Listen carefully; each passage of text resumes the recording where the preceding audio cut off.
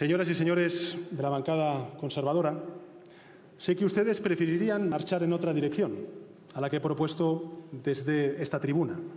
Pero eso, señorías, ya lo decidieron los españoles el pasado 28 de abril. No les pido que apoyen este proyecto. Lo que les pido es que retiren las barreras. Lo que les pido es que permitan que España tenga gobierno. Lo que les pido, lo que les exijo, es que España avance. Gracias.